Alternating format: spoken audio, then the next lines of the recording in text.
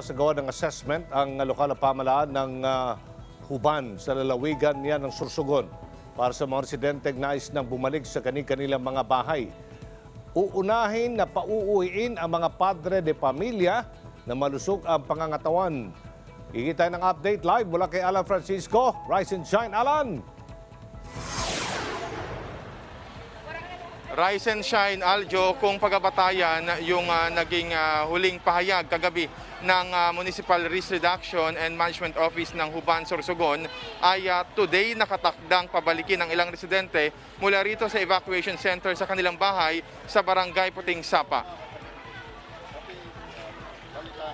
Ayon Aljo kay ah, Municipal Risk Reduction and Management Office Head ah, RV Ledronyo. Supposedly ay ah, kahapon ito nangyari pero dahil hindi natapos ang clearing operations kaya today ito gagawin.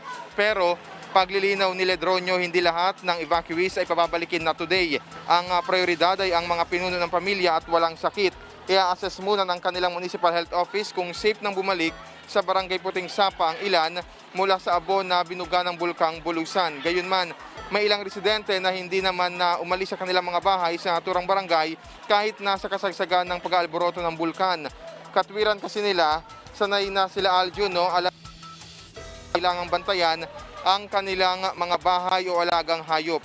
Isa pa ayon sa ilang residente, mas gusto nila sa sa evacuation center. Kahapon, kasama ng LGU sa paglilinis ang ah, mga polis ng Region 5 at ah, yung mga miyembro ng Bureau of Fire Protection. Binuguhan nila ng tubig mula sa malalaking hose ang mga kalsada, bahay at talaman sa puting sapa. May dala ring ah, water desalination machine ang ah, Police Regional Office 5 upang proseso at linisin ang tubig bukal ng mainom ng mga residente. Aljo, galing Japan, yung machine na dinonate dito sa Pilipinas. At ah, kaugnay nga Aljo ng mga evacuee, no? Subukan kong kausapin ng isa sa mga evacuee dito sa evacuation center, si Ginoong ah, Jose Cruz.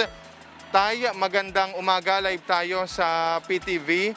Today, ang ah, sinasabi na baka umano ay pabalikin na kayong mga head of the family sa inyong bahay sa Barangay Puting Sapa. Anong reaction niyo, sir?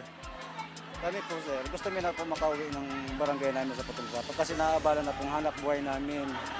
Kasi dito mahirap talaga dito po sir sa, sa evacuation. Kasi daming mainit talaga.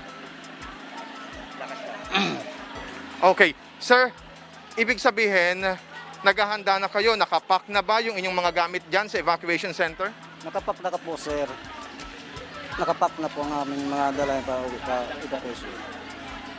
Okay, so any moment na lang inihintay ninyo yung ah, signal ng ah, LGU. Opo sir. Okay. Sige tay, maraming salamat po ah, si Sir Jose Cruz, ang isa sa mga evacuees dito yan sa Huban Evacuation Center. Yan muna ang latest, Aljo. Alright, ah, maraming salamat, ah, Alan Francisco. Ingat ka dyan.